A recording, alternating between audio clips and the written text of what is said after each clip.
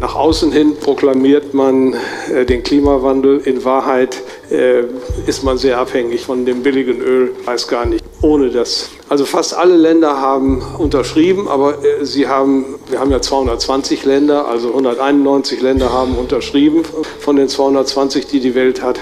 Und äh, von denen wiederum, die meisten haben nur unterschrieben, dass die 61 äh, sich anstrengen, den CO2-Ausstoß zu reduzieren und letztlich dadurch die Brennstoffe für sie freizugeben. Das ist ja was ganz anderes als Kooperationsvereinbarung, die auf Reziprozität basiert, wie wir das vorhin. Ich zeige Ihnen hier mal, äh, was das für die CO2-Emissionen bedeutet.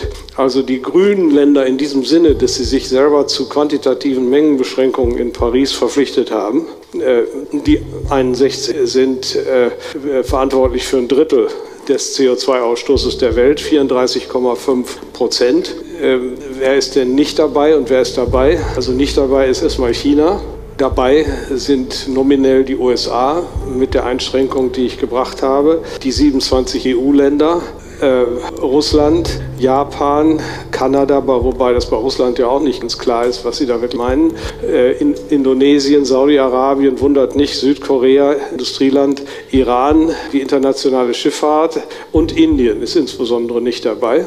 Und äh, dann gibt es noch viele kleine Länder, die man nicht jetzt hier im Einzelnen aufführen kann. Die sind zum Teil dabei, zum größeren Teil nicht dabei. Nur, dass wir mal ein Gefühl kriegen für die Größenordnung und wissen, worüber hier, äh, wir hier überhaupt reden. Und äh, bei den äh, 27 EU-Ländern ist es so, dass Deutschland hier äh, das größte Land ist. Weltweit 1,8 Prozent tragen wir zum CO2-Ausstoß bei. Italien 0,8, äh, Polen auch 0,8 und Frankreich auch nochmal 0,8. Und dann kommen hier äh, mit dem grauen Zwackel daneben die anderen Länder. Also wir sind weit, weit, weg, weit weg von dem Klimaclub, von einer irgendwie äh, tragfähigen Kooperationsvereinbarung. Das ist das erste Problem. Das zweite Problem ist, dass äh, im Überschwang der Gefühle und auch der sozialen, moralischen Verantwortung, die wir Deutschen hier insbesondere empfunden haben, äh, letztlich utopische Ziele festgelegt wurden,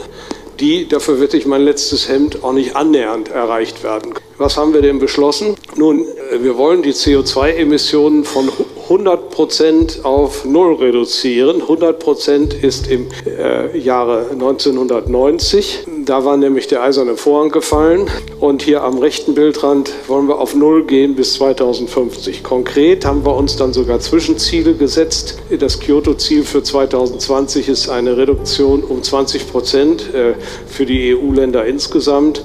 Und äh, Deutschland hat ein nationales Ziel äh, gesetzt, um minus um 40 Prozent zu zieren. Und was wurde erreicht? Ja, das sieht schon ganz gut aus. Die EU hat ihr Ziel erreicht und Deutschland hat Ziel auch gerade erreicht. Jetzt muss man aber sagen, äh, der letzte Abschwung ist Corona-bedingt. Ohne Corona wäre das ja nicht gewesen.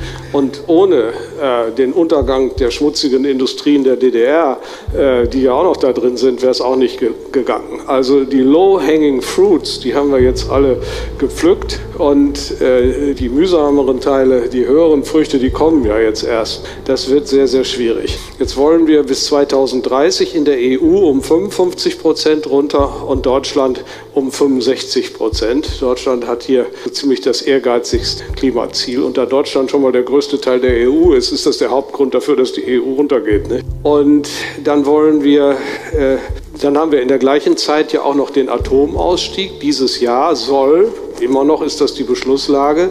Sollen die letzten drei Atomkraftwerke abgeschaltet werden? Letztes Jahr sind schon drei abgeschaltet werden. Ich glaube nicht, dass das passieren wird. Wir werden uns am Ende des Jahres nochmal wiedersehen äh, bei dem Thema. Aber im Moment ist das die Beschlusslage. Und äh, trotzdem will man dann so weit runter. Muss man ja im restlichen Bereich umso stärker runter. Und dann will die EU eben um 100 Prozent runter bis 2050. Und äh, Deutschland will bis 2040 schon um 88 Prozent runter und 2045 um, um 100. Das ist für absolut utopisch. Und ich finde es schade, wenn man sich so utopische Ziele setzt, weil wenn die Leute dann merken, dass man das ja nicht erreichen kann, äh, dann werden sie sich frustriert möglicherweise abwenden. Also Ziele müssen schon irgendwie auch realistisch. Äh, dass das utopisch ist, das wird vielleicht klar, wenn wir uns den Energiemix mal anschauen für die OECD, die EU und auch für Deutschland. Äh, die OECD-Länder, also die Industrieländer der Welt, verbrauchen oder beziehen ihre Energie zu einem Drittel aus Mineralöl, einem knappen Drittel aus Gas, knapp sieben Prozent aus der Biomasse, sprich die heizen mit Holz, und wie früher viele es gemacht haben, Wind und Solar liegt bei 2,6 Prozent. Ich muss betonen, das ist der Primärenergieverbrauch. Das ist ja noch nicht der Endenergieverbrauch. Das hat dann mit Wirkungsgraden zu tun. Also ein bisschen addiert man immer bei diesen Statistiken Äpfel und Birnen. Da komme ich gleich. Äh, Wasserkraft 2,6. Äh, alle Erneuerbaren liegen bei 12,5 Prozent in der OECD. Dann kommt hier Kohle noch und Kernenergie mit knapp 10 Prozent äh, in der OECD. Das gleiche Diagramm kann man jetzt für die aufzeichnen. Das sehen Sie hier, ist kaum unterschiedlich. Nur, dass die Kernenergie ein bisschen mehr ist, weil Frankreich dabei ist. Nicht? Statt 10 Prozent haben wir 14 Prozent. Wind und Solar ist auch ein bisschen mehr, weil Deutschland dabei ist. Und äh, Gas ist insgesamt etwas weniger als bei den äh, OECD-Ländern. Mineralölanteil ist derselbe, praktisch ein Drittel. Und jetzt Deutschland. Wieder sieht das Diagramm ähnlich aus, aber nicht ganz. Kernenergie ist weniger, das sind die drei Kernkraftwerke. Äh, ja gut, das ist 2020. Das waren die sechs Kernkraftwerke, die wir da noch hatten. Und äh, die sollen ja abgeschaltet werden. Und wir haben hier äh, Wind- und Solarenergie 5,5 Prozent. Äh, viele denken ja, Wind und Solar ist ja eher 55 Prozent als 5,5 Prozent. Äh, aber das bezieht sich dann immer auf den, äh, auf den Strom. Hier geht es aber nicht um Strom, sondern um die gesamte Energie. Und das meiste geht ja gar nicht, ein Fünftel der gesamten Energie geht ja nur in den Strom. Äh, das meiste ist ja äh, die Prozesswärme der Industrie, das Heizen der Häuser und so weiter. Der Strom ist ja nur, äh, kommt ja unter ferner Liefen. Und da haben wir dann hohe Prozentsätze, aber nicht übers Ganze. Ja, jetzt kommt das Thema Russland bei der Gelegenheit auch noch mal kurz hier angesprochen. Wie abhängig sind wir denn von Russland bei diesen Energielieferungen? Naja, von den Russen kriegen wir Steinkohle, Braunkohle nicht, den die haben wir selber. Ähm, und von dieser Steinkohle kommen, kommt äh, knapp die Hälfte aus Russland. Dann äh, Mineralöl kriegen wir aus Russland und davon kommt dann ungefähr ein Drittel, was ich hier mit, den russischen Flagge, mit der russischen Flagge sozusagen darstelle, äh, aus Russland. Und äh, von dem Gas kommt knapp, äh, also gut die Hälfte aus Russland. Jedenfalls noch 2020. Wir sind ja dabei, das jetzt zu reduzieren. Neuere Daten gibt es, sind jetzt schon in 2022. Wenn der liebe Gott mir helfen würde, könnte ich Ihnen eine Statistik über 2022 geben. Es gibt noch nicht mal eine für 2001. So, und das ist schon viel. 30 Prozent der in Deutschland verbrauchten Primärenergie stammt aus Russland. Und selbst wenn man jetzt einen Wirkungsgrad von, von der Hälfte, 50 Prozent oder so ansetzt, äh, dann bedeutet das, dass man äh, daraus dreimal so viel Strom machen kann, wie derzeit aus der Windenergie und den photovoltaischen Anlagen kommt. Wobei noch nicht berücksichtigt ist, dass der Strom äh, aus diesen Anlagen wegen seiner Volatilität und seiner Nichtsteuerbarkeit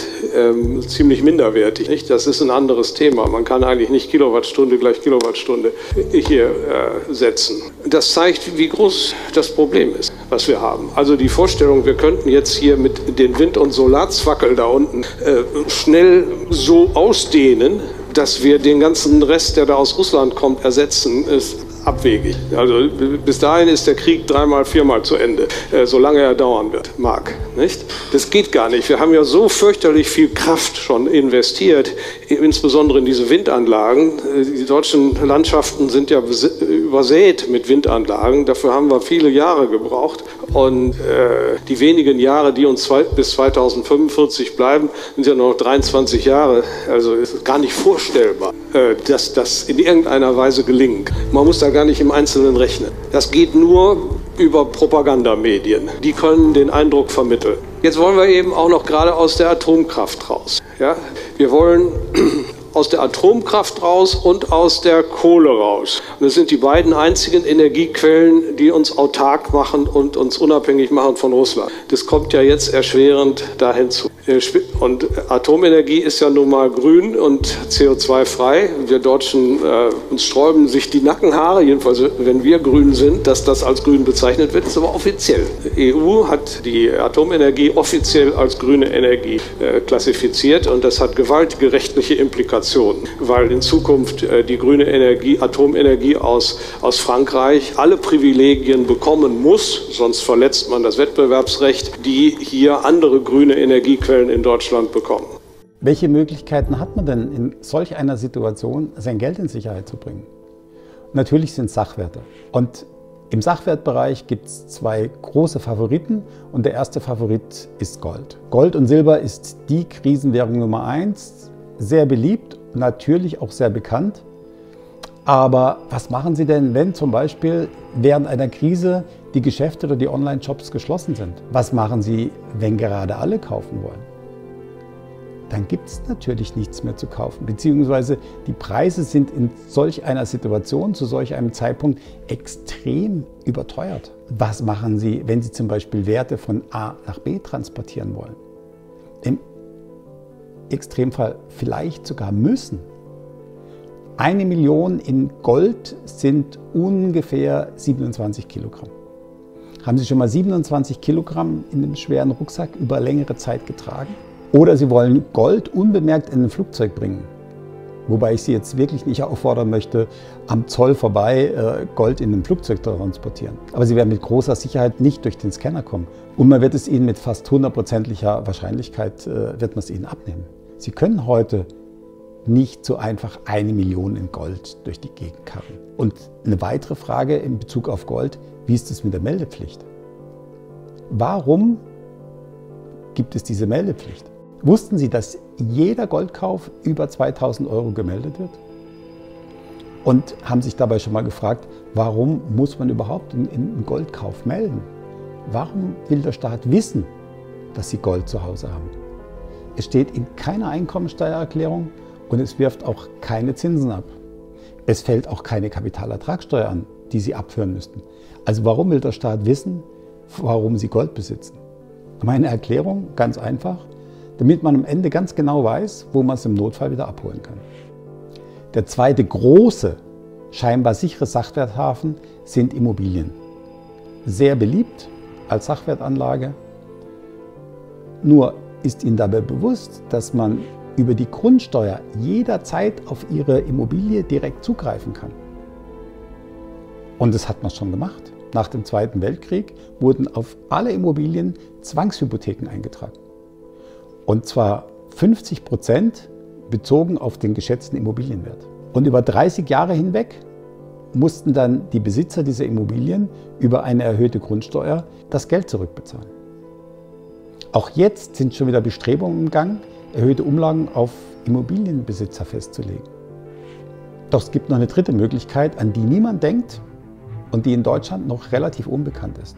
Eine wirklich super Alternative, nichts Digitales mit echten Werten hinterlegt, die seit Jahrhunderten den Beweis erbracht hat, dass sie Vermögenswerte erhalten hat und auch gerettet hat.